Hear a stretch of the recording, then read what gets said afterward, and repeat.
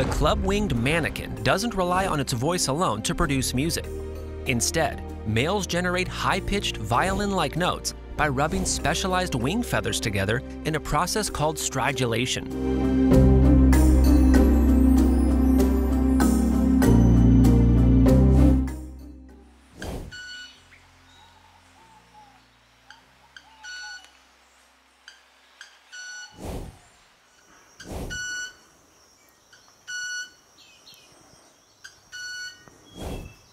Each sound is clear, metallic, and melodic, as though the bird were strumming a tiny instrument in the jungle. This unusual performance is part of a courtship display, where males also hop, dart, and dance in synchronized routines. The wings are uniquely adapted with ridged feathers that resonate like guitar strings when struck. The resulting tune is both charming and uncanny, standing out from the usual whistles and chirps of tropical birds.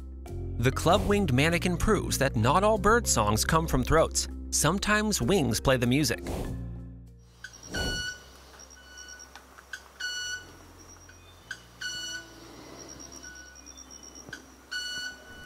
Curious about the full ranking? Follow the link below to see every entry, all the way to number one.